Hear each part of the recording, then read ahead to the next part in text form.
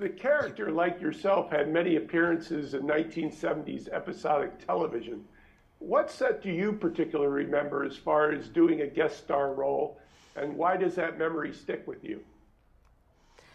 Oh my gosh, there's so there were so many. I you know, um, I did a show called McCloud. I did a show called McCoy.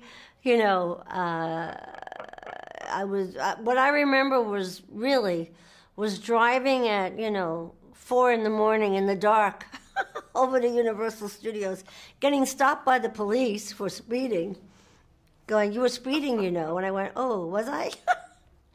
and he let me go.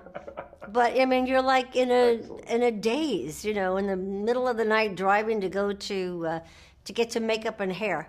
So that's what I remember about it. But I also remembered having fun with, you know, uh, doing those shows with the actors on the. Tony Curtis was McCoy, and uh, you know, so right. all those shows were were fun to do in those days, and it gave actors a lot of work.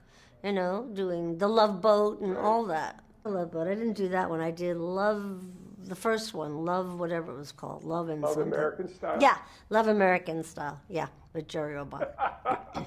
I'm a child of the '70s, so forgive me. And that one, we uh, were we were. I was his moll. He was a, one of those guys, and I was his gun moll. And they were shooting at us, and all the they had they had all the bullets or the whatever you call those blanks in the walls, and they would they would hurt you. Actually, they were like popping, but they were little pieces of metal. You're gonna go, ow!